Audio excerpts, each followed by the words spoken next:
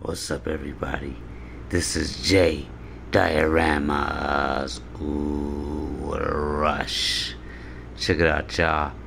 This is me working on my Dagobah system for Star Wars. Got my X-Wing. I gotta display my X-Wing. This is the only reason why I'm making this Dagobah system.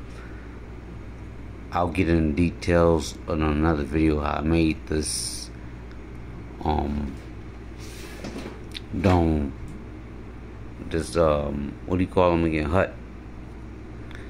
For my Yoda let us make it fair real quick.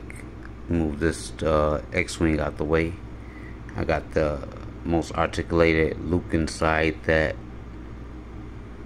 X-wing in the X-wing suit.